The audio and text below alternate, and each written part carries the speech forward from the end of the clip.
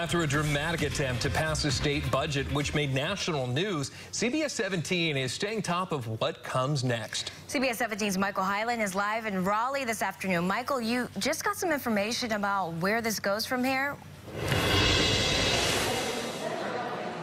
Right, we're three months into this standoff. We just found out Senate leaders are planning to go home at the end of this month. And they say they're still trying to work out a compromise until then. I want to show you this video that went viral three weeks ago. This is Democratic Representative Deb Butler shouting on the House floor as Republicans took a surprise vote to override Governor Cooper's veto of the budget. Democrats say one Republican leader told them there'd be no vote that morning. Well, since then, the Senate has not taken a vote. And Republican Senate leader Phil Berger says that's not going to happen this week either.